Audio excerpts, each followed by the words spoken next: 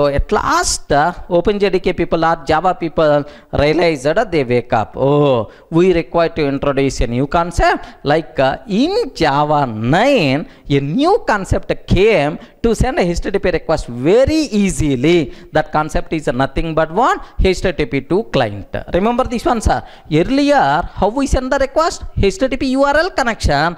Sir, it is difficult to use. At a time, only one request. It is only text based.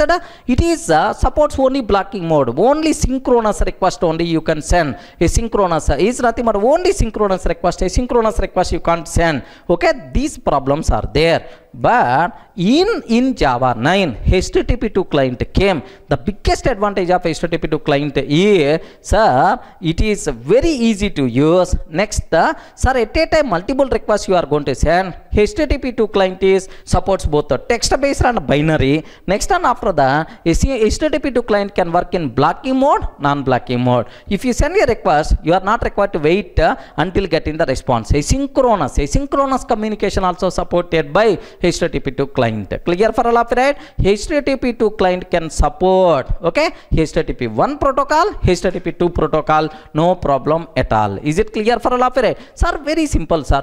Aware, what is the HTTP client? From Java application, if you want to send a request to the web server, then some software is required which is nothing but HTTP client.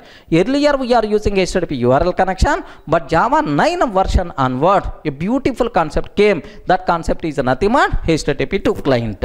Sir, now once a HTTP 2 client came, we are not required to come in. We are not required to use any third party HTTP client because it is very easy than these things also. That's why HTTP 2 client is the longest waiting, longest waiting concept, most excited concept in Java 9. Remember this one, sir. Sir, once this concept came, most of the worldwide programs felt very happy because long waiting ends with this concept. Clear for all of right? Sir, what is HTTP client? What is the problems with old one? New one, what advantages are there? Overview.